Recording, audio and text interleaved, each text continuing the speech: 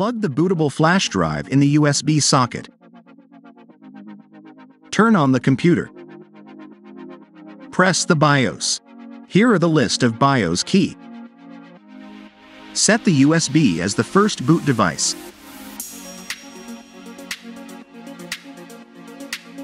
Press F10 and save the settings.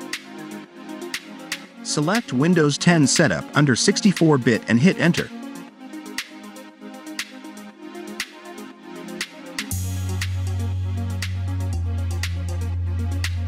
Click Next.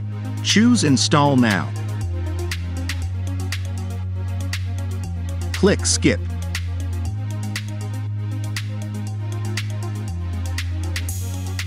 Accept the agreement and click Next. Select Custom Install Windows. Click Next. Wait until installation files is done.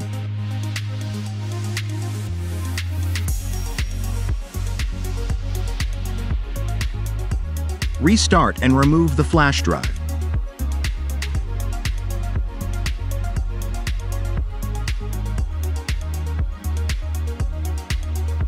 Select Do this later.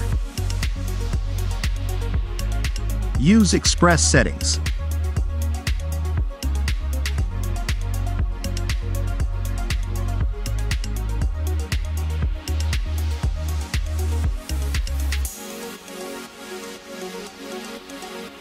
Select I own it and click Next.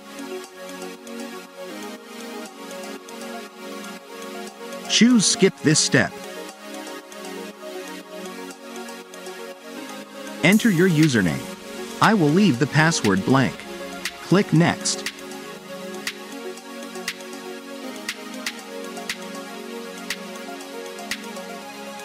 Right-click the desktop and choose Display Settings.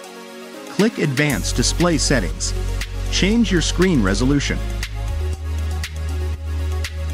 Apply changes. Press your Windows logo. Type desktop icon. Check all the icons that you want to appear. Click Apply and hit OK. The drivers in this operating system is not yet detected. I will create tutorials about driver installation at the end of the operating system installation videos. Let's check the size of used space in Windows 10. The total size of the operating system is 9.99 gigabytes.